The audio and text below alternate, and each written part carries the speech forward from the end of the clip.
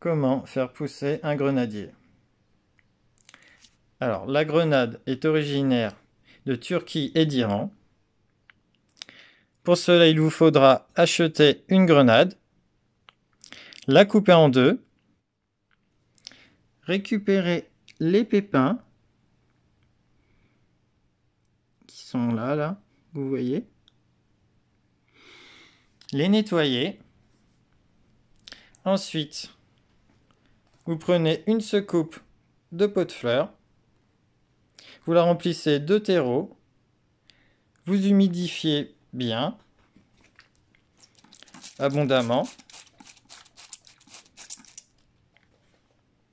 Ensuite, vous venez placer vos graines à 5 cm de distance et un demi centimètre de profondeur. Ensuite, vous placez la secoupe dans un endroit chaud 20-25 degrés. Et d'ici 15 jours, les premières germes devraient apparaître. Et d'ici 3 semaines, ils seront à peu près à ce stade-là.